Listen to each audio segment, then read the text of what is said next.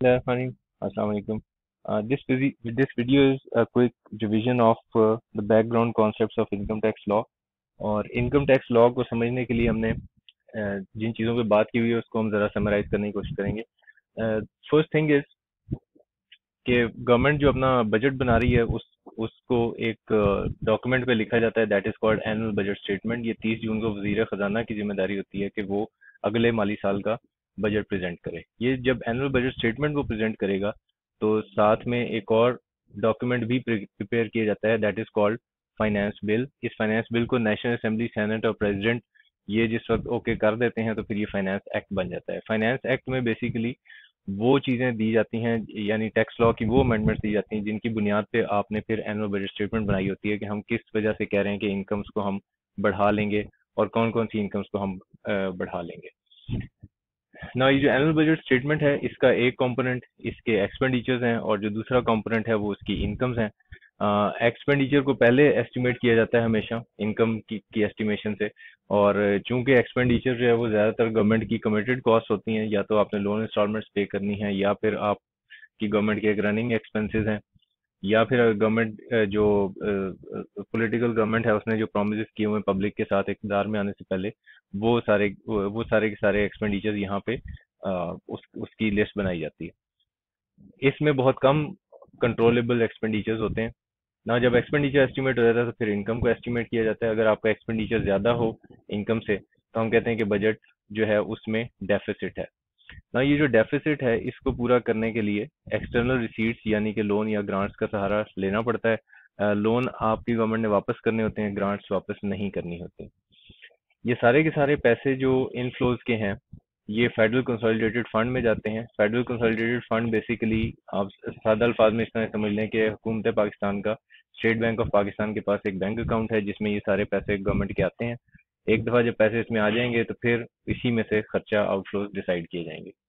जो इनफ्लोज हैं, वो मेन दो तरह के हैं इंटरनल और एक्सटर्नल रिसीट्स इंटरनल रिसीट्स दो तरह के हैं रेवेन्यू रिसीट्स और कैपिटल रिसीट्स रेवेन्यू रिसीट्स दो तरह के हैं टैक्स रिसीट्स और non tax receipts tax receipts दो तरह के हैं एफ़ बी आर टैक्सेज और अदर टैक्सेज या non F B R taxes F B R taxes दो तरह के हैं डायरेक्ट टैक्स और इनडायरेक्ट टैक्स और इन दोनों में मेन डिफरेंस ये है कि डायरेक्ट टैक्स पहले आपकी इनकम लेवल को फिगर आउट करता है कि आपकी आमदनी या प्रॉफिट या गेंस किसी भी ट्रांजैक्शन या बिज़नेस में कितने हैं और फिर उसके बाद टैक्स कैलकुलेट किया जाता है। जबकि इनडायरेक्ट टैक्सेस चीज़ों की कीमतों में शामिल हो जाते हैं ये टैक्सेस और ये हर इनकम लेवल को इक्वली हिट कर जाते हैं, जिसकी वजह से जो गरीब आदमी उसको इसका ज़्यादा नुकसान होता है इनडायरेक्ट टैक्सेस का।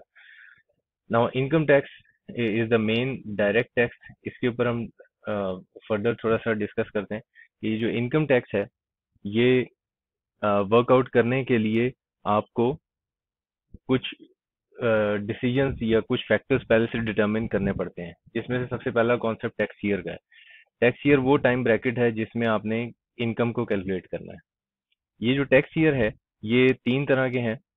One is normal tax year other is special tax year और third one is transitional tax year transitional tax year सिर्फ़ उस सूरत में अराइज होता है जब आप नॉर्मल से स्पेशल टैक्स ईयर में जा रहे हो या स्पेशल से नॉर्मल टैक्स ईयर मतलब स्विच कर रहे हो अपना टैक्स ईयर या फिर किसी एक स्पेशल टैक्स ईयर से किसी दूसरे स्पेशल टैक्स ईयर में जा रहे हैं। Normal tax year twelve months का पीरियड है जो थर्टी जून पे खत्म होता है। इसके अलावा अगर कोई ट्वेल्व मंथ्स का पीरियड है जो थर्टी जून के अलावा किसी डेट पे खत्म हो रहा है तो फिर हम उसको स्पेशल टैक्स ईयर बोलते हैं। और transitional tax year intervening period होता है जब आप वन टैक्स ईयर से when you switch between one tax year to another tax year जो नॉर्मल टैक्स ईयर है उसको थर्टी uh, जून जिस कैलेंडर uh, ईयर में फॉल करती है उसी से डिनोट किया जाता है। यानी 30 जून 2020 का मतलब अगर किसी का फाइनेंशियल ईयर एंड 30 जून 2020 है तो उसका नॉर्मल टैक्स ईयर भी 2020 ही होगा। लेकिन स्पेशल टैक्स ईयर के केस में जो ईयर एंड डेट है उसको देखा जाता है वो किस नॉर्मल टैक्स ईयर में फॉल कर रही है। फॉर एग्ज़ाम्पल इकतीस दिसंबर 2020 का मतलब ये हुआ कि इकतीस दिसंबर 2020 किस नॉर्मल टैक्स ईयर में फॉल करेगी? जुलाई 2020 से जून 2021 तो नॉर्मल टैक्स ईयर बनता है 2021 तो इसलिए ये जो फाइनेंशियल ईयर होगा, इसको बोलेंगे special tax year 2021 transitional tax year में भी बिल्कुल वही तरीके का अडॉप्ट किया जाता है, जो स्पेशल टैक्स ईयर में किया जाता है to determine the digits of the year special tax years जो हैं, वो एफ़ ने बाज इंडस्ट्रीज़ के लिए डिफाइन किए हुए हैं। ये डिपेंड करता है कि वो इंडस्ट्री की रिक्वायरमेंट्स क्या हैं, वो किस तरह से अपने प्रॉफिट्स को ज़्यादा एक्यूरेटली प्रेजेंट कर सकती है तो उस बुनियाद पर उनके टैक्स ईयर्स डिसाइड कर दिए जाते हैं।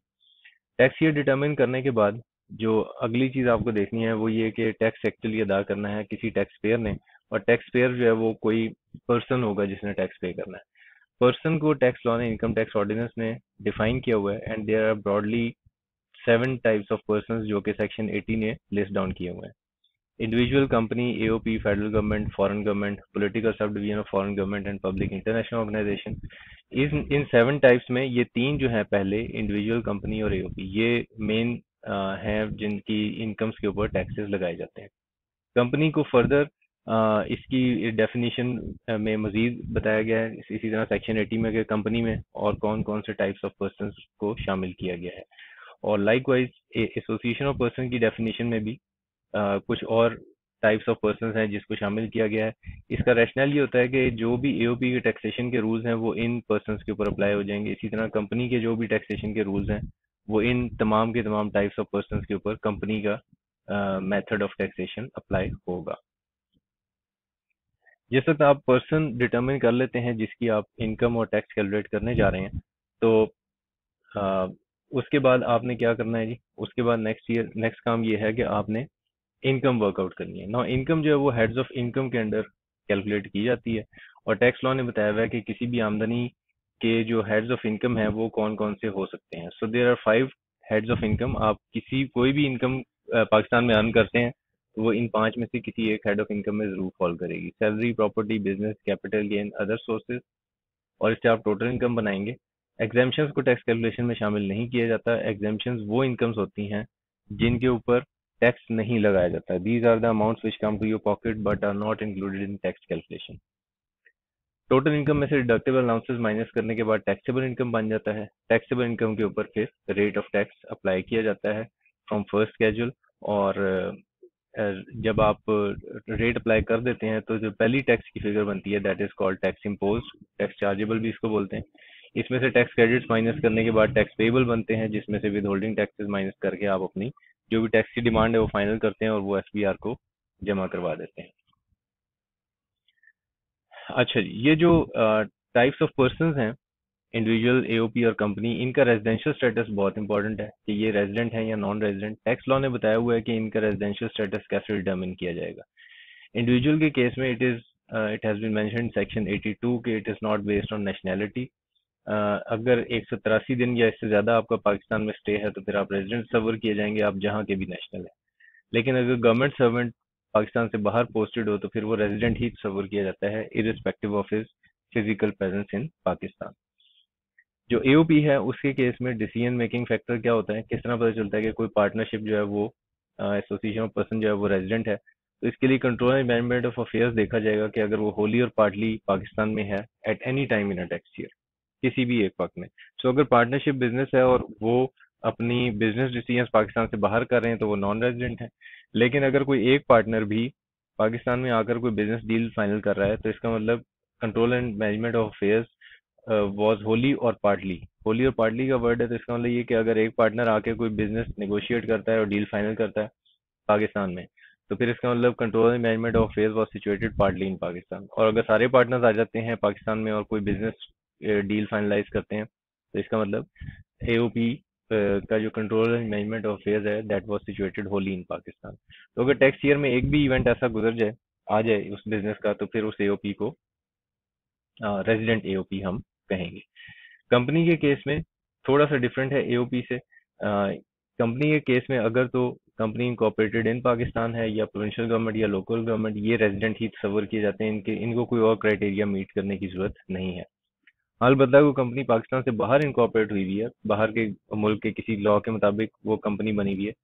तो फिर वो रेजिडेंट उस सूरत में होगी कि उसका control and management of affairs situated wholly in Pakistan. तो इसका होली इन पाकिस्तान से मुराद ये है कि जो भी कंपनी है, उसके बिजनेसेस को रन कौन कर रहा होता है? बोर्ड ऑफ़ डायरेक्टर्स सो अगर बोर्ड ऑफ़ डायरेक्टर्स की मीटिंग पाकिस्तान में होती है तो इसका मतलब ये कि उन्होंने अपने कोई बिज़नेस डिसीज़न जो है, वो पाकिस्तान में किए हैं। तो control and management of affair situated wholly in Pakistan at any time in tax year अगर ये कंडीशन पूरी हो जाए तो वो कंपनी जो पाकिस्तान से बाहर इनकॉर्पोरेट हुई थी, उसको भी रेजिडेंट कंपनी तस्वर कर लिया जाएगा टैक्स लॉ की नज़र में। रेजिडेंशियल स्टेटस डिटर्मिन करना इसलिए भी ज़रूरी है क्योंकि इनकम का एक और एट्रीब्यूट होता है and that is geographical source of income कि आपने जो भी आमदनी कमाई है वो क्या पाकिस्तान सोर्स है या फॉरेन सोर्स है? So your income which which is coming from every head of income could be Pakistan source income और फॉरेन सोर्स इनकम ये जो जोग्राफिकल सोर्स ऑफ़ इनकम है uh, इसका डायरेक्टली लिंक है रेजिडेंशियल स्टेटस के साथ और रेजिडेंशियल स्टेटस से इसका कम्बिनेशन बेसिकली ये है कि अगर रेजिडेंट है तो उसकी पाकिस्तान सोर्स इनकम और फॉरेन सोर्स इनकम दोनों टैक्सेबल है। और अगर नॉन रेजिडेंट है तो सिर्फ़ और सिर्फ़ उसकी पाकिस्तान सोर्स इनकम टैक्सेबल है फॉरेन सोर्स इनकम टैक्सेबल नहीं है उसकी पाकिस्तान में। Geographical source of income determine कैसे किया जाता है, ये हर हेड ऑफ़ इनकम में जिस वक्त हम उसको डिटेल में स्टडी करेंगे तो वहाँ पे डिसाइड किया करेंगे सैलरी के चैप्टर में प्रॉपर्टी के बिज़नेस के। तो वहाँ पे जाके देखेंगे कि जोग्राफिकल सोर्स ऑफ़ इनकम किसी आमदनी का किस किन क्राइटेरियाज की बुनियाद पे डिफाइन किया जाता है।